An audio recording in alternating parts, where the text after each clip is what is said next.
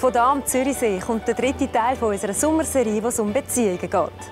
Tina Schmidt lässt nichts unversucht, um ihr kleines Playboy-Imperium World of Venus aufzubauen. Ihr Mann Samuel wächst als Hippie-Kind auf. Moderne Nomaden im Fenster zum Sonntag.